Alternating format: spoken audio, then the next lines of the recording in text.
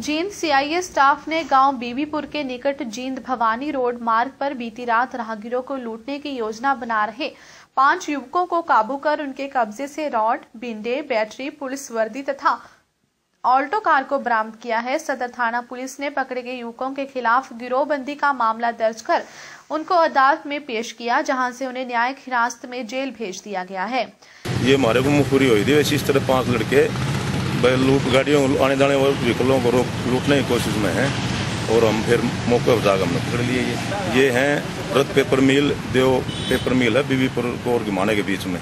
वहाँ इनको ये अब वो बना रहे थे अपनी इनको आने जाने व्हीकलों लूटने की। वहाँ गिरफ़्तार वहाँ पकड़े हमने। तो पाँच आदमी।